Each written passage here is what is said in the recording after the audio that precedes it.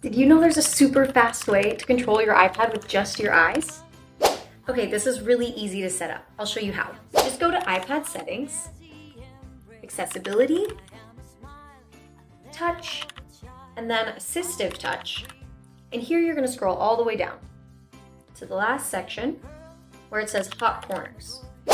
Under hot corners, you have an option to set each corner to one action. I'm gonna click on top left, and here you can see there's a huge list of options. Here, I'll choose pause, dwell. This will stop my clicking action with my eyes. Now, when I go out, I'll show you what it looks like. So we set our hot corner to pause and resume eye gaze. This is going to give us the ability to pause the click action when I'm looking at something on the screen. This is gonna be really, really useful when we're doing something like watching a video or reading something on the page because we don't wanna be clicking all of the time that we're looking at the video.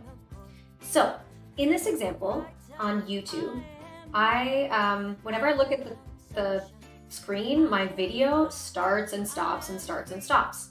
But if I just wanna watch my video in peace, I can pause my eye gaze, dwell, by looking at my hot corner.